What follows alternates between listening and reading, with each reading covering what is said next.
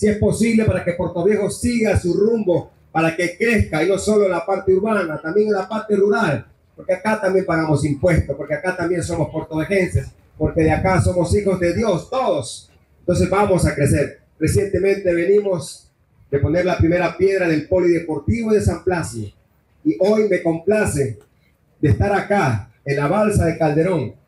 Hay muchos recuerdos antes de pasar a los recuerdos, quisiera saludar a las autoridades, a mis compañeros concejales, Juan Farías Alcíbar y a Yandri Basurto Hurtado, los concejales que se han unido a la propuesta de Javier Pincay. No estamos mirando de qué partido político somos, sino que a dónde queremos llegar. Y queremos llegar alto, rayar la historia de Puerto Viejo para buscar su desarrollo. Asimismo, los presidentes de Calderón, Rudy Navarrete, estamos trabajando en concordancia con ustedes porque ustedes son los que conocen la verdadera realidad de cómo está cada una de nuestras parroquias. Proven, recién tuvimos en tu parroquia un bonito evento. Asimismo a las reinas, qué hermosa, qué belleza. Y ahí que diría allí un verso, y hasta el jardín de Diosa visité para decirle el verso que me aflora, pero para decirle a ustedes, mujeres de la balsa, encantadoras. Un aplauso a nuestras reinas, a nuestras reinas. Mi gente de la balsa, mis compañeros funcionarios que se encuentran acá, gerentes, directores, a cada uno de ustedes, gracias por creer en, su compañero de trabajo, en Javier Pincay. A cada uno de ustedes les agradezco. Y quiero recordar a Eliezer Zamora, que siempre me invitaba para las fiestas. Javier, tráenos un payaso. Ahí le traemos el payaso. Javier, vamos a hacer una rifa porque vamos a comprar el terreno. Un sueño de este hombre, de Eliezer Zamora, que tenía con esta cancha. Muy bien, está el proyecto, pero no hay un terreno.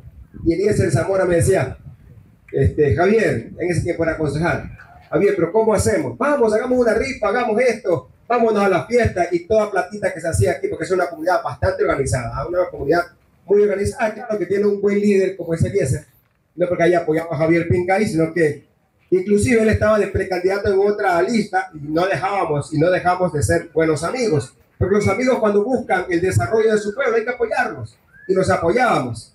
Inclusive aquí hicimos una fiesta, aquí estuvimos. Tuve la suerte de proclamar casi a todas las reinas que han pasado aquí en este, en este evento. Pero es digno de, de, si hay alguien que hay que agradecer, ni siquiera al alcalde que viene a hacer la obra, es este señor, Eliezer Zamora. Este es Eliezer Zamora es que me decía, vamos, y se hacía rifas, se hacía venga, venta de tongas. Ah, Javier, ¿cuántas tongas nos vas a ayudar a vender? Yo no importa, dame 20, ve dónde las llevo. Ahí las llevaba a regalar a la gente, no tenía que comer, pero sentía que apoyaba este proyecto y recogieron los 4 mil dólares. Eso es digno de, de, resaltar, que no solo van a pedir, a pedir y a pedir y a pedir y a pedir. Me fueron con esa propuesta. Y después me decía, pero Javier, nada, ya me dijeron que lo van a hacer este año ya me van a, decir que lo van a, ubicar en el otro año. Y yo le dije está dentro de las obras PEDE. Cuando yo llegue de alcalde, lo primero que voy a hacer es seguir gestionando de que las obras PEDE, los proyectos que están en el Banco de Desarrollo, se ejecuten. Y una de esas es esta cancha. Y usted decía, pero es que ya no la van a hacer, es que me están mintiendo. Digo, yo llego alcalde, lo primero que lo hago es la cancha. Aquí estamos cumpliendo la palabra de este hombre para ustedes, hermanos de la parroquia Abreu Calderón.